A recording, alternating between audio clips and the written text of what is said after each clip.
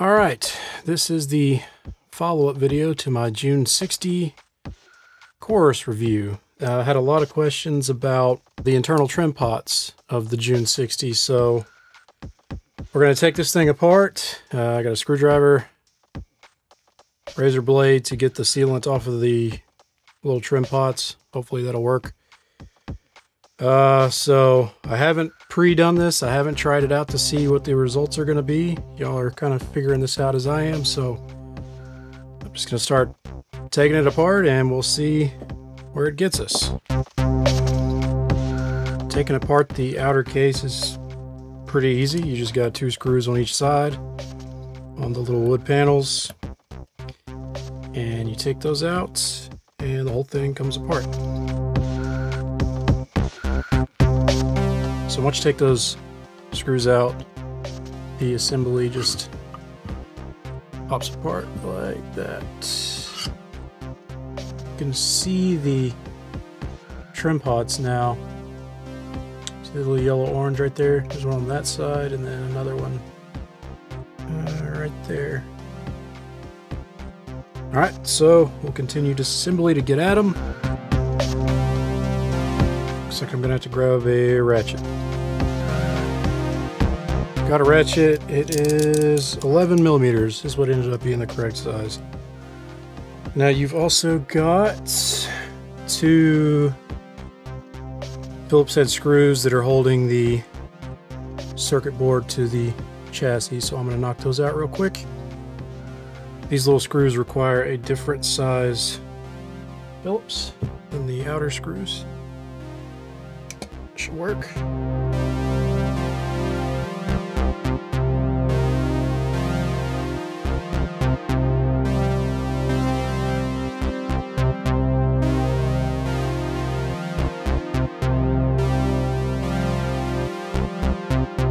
These buttons just kind of snap on.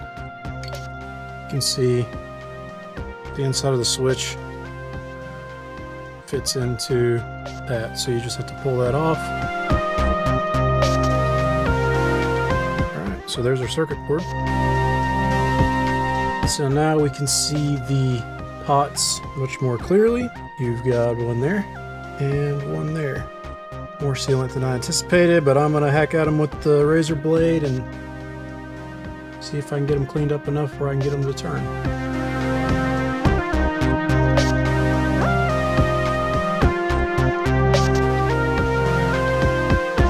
Trying to simultaneously get this in the shot and focus and not slice my hand up.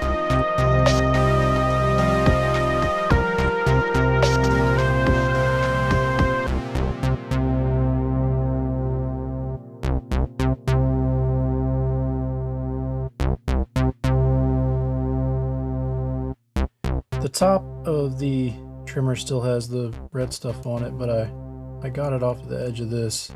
You can see the gap where there's still some right there, still some right there, but I've kind of disconnected it. And I think, I think I've got it disconnected on this side too. Not, I'll hack on it a little more, but I'm gonna grab a pin and mark the factory location. So after I start twisting this thing, I can get us back to where we started for some comparisons.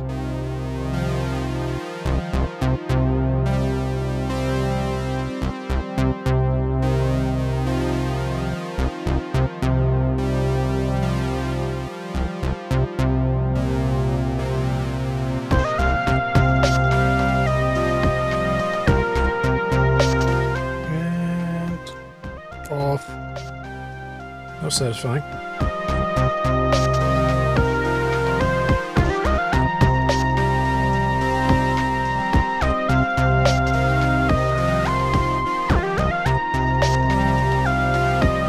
So I'm going to set them both back to the factory setting and then hook up the audio and power. Hopefully not electrocute myself and uh, start tweaking and see what happens.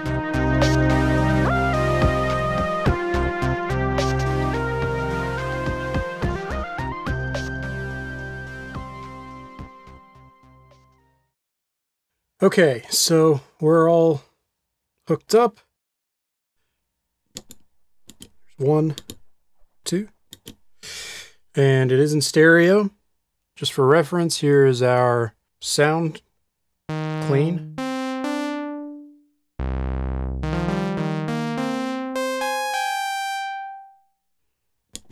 Setting one. Setting two. Setting three.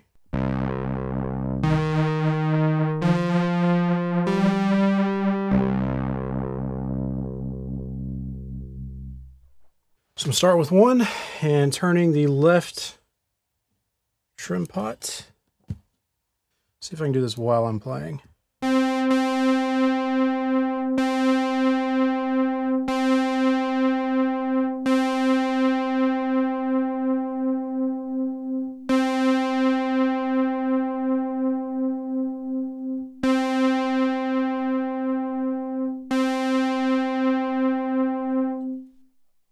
Going to be honest, I don't hear anything.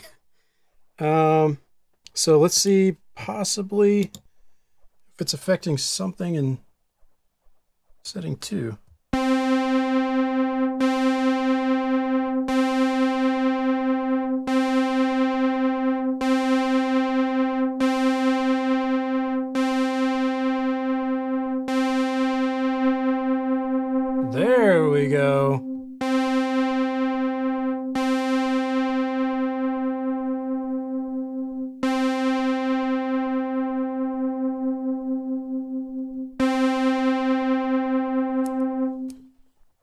So the left trim pot seems to affect chorus number two, and it's affecting the speed, but it seems like there's a very wide range on the counterclockwise side where there's little to no effect, and then when you get almost completely clockwise, it slows down significantly.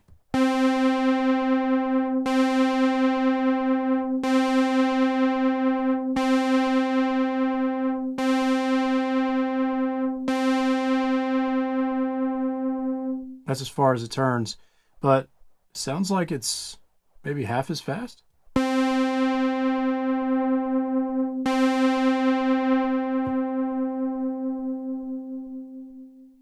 We all said uh, the factory setting was too fast, so that's that's good. We can slow it down. So let's try the right trimmer. I suspect since the left trimmer affected chorus 2 that the right trimmer will affect chorus 1, but uh, I'm not going to assume that. I'm going to go ahead and turn it while I'm still in chorus 2 and see what happens.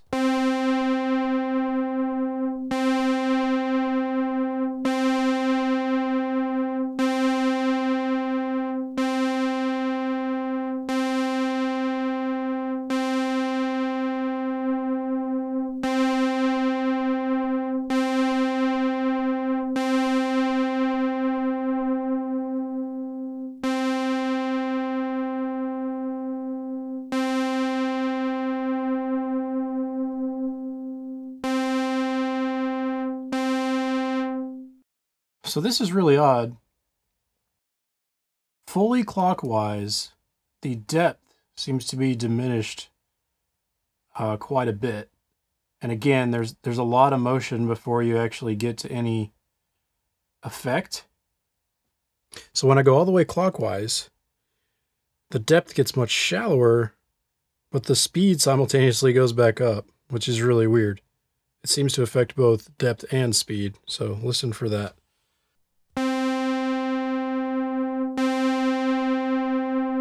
So you can hear there, we have a lot of depth,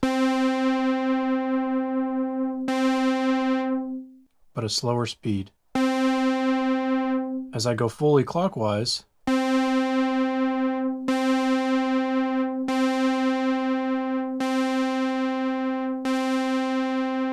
right there, my depth is a little diminished, but my speed goes back up.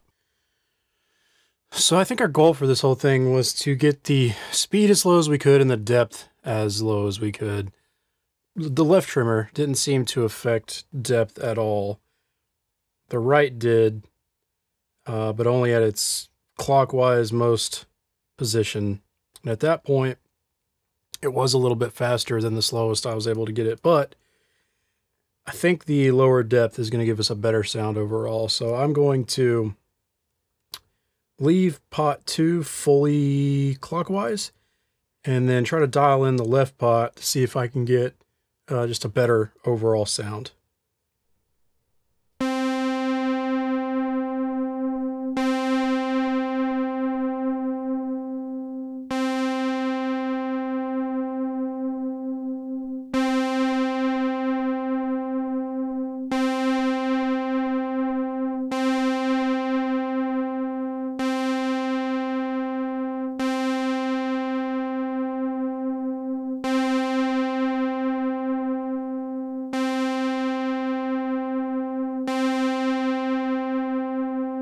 So it does seem like the two pots are interactive because I'm now getting a different response than I did before I moved the other pot.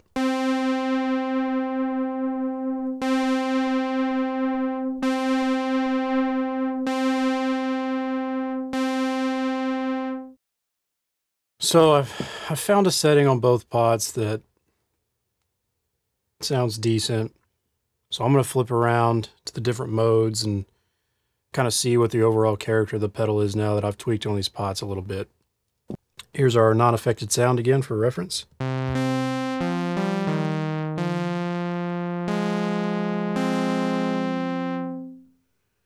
Chorus one.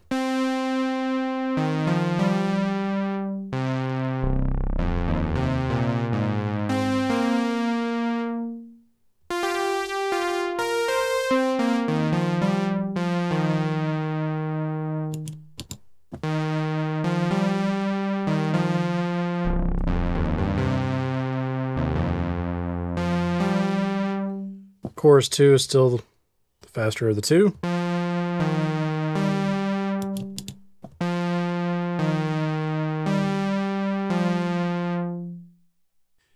It sounds like we definitely have a much uh, less deep modulation than we originally had, which personally I think makes for a better sound.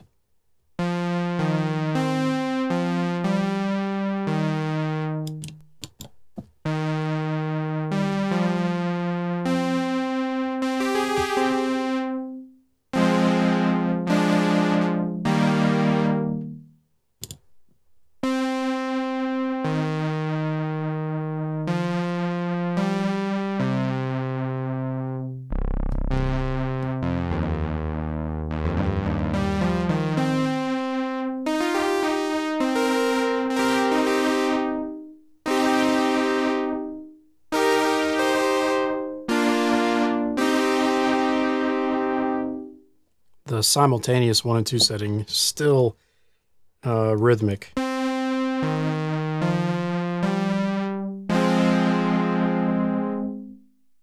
going to try tweaking on it a little bit with both uh, choruses enabled and see if I can dial in something a little subtler on this uh, setting 3. So here's the original setting. And here it is with the best setting I could find for it.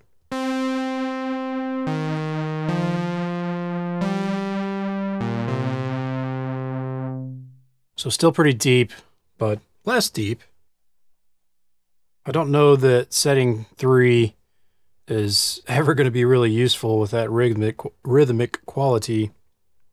But I think setting 1 is much more usable now.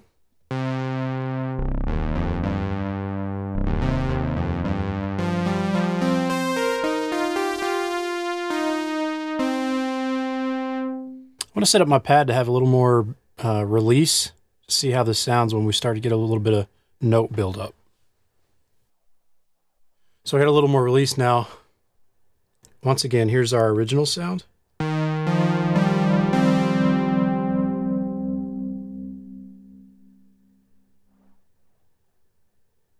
And here's with it dialed in a little better.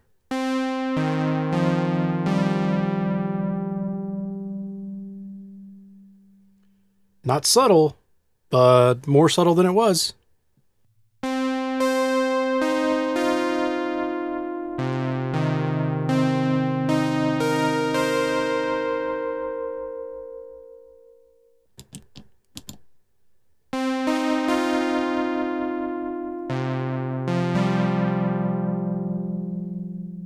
Setting 2 is just so fast still. I don't, I just don't know if that's a usable sound.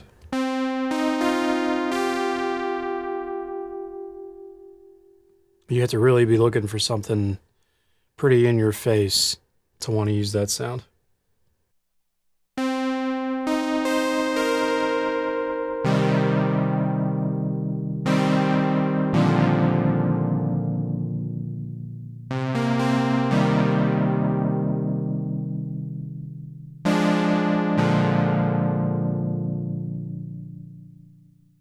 And setting three one more time just for giggles.